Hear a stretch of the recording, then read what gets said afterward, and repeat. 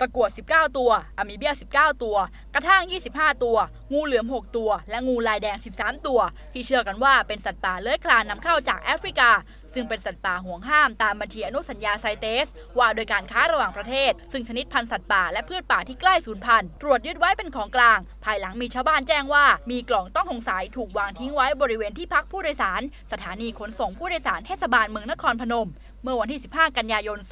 2558 ที่ผ่านมา จึงเข้าตรวจสอบ พบสัตว์ป่าเลื้อยคลานบรรจุในถุงตาข่ายและกล่องพลาสติกหลายชนิด แต่ไม่พบคนแสดงตัวเป็นเจ้าของ เชื่อว่ามีการลักลอบนำมาทางรถทัวร์โดยสาร เพื่อนำมาพักรอการส่งไปขายผ่านชายแดน เข้าไปประเทศเพื่อนบ้าน ซึ่งส่วนใหญ่จะเป็นสัตว์เลี้ยงดูเล่นของกลุ่มคนที่ชื่นชอบซื้อไปเลี้ยง มีราคาแพงตัวละหลายพันบาทถึงหลักหมื่นบาท แต่อาจมีเจ้าหน้าที่ตรวจพบเสียก่อน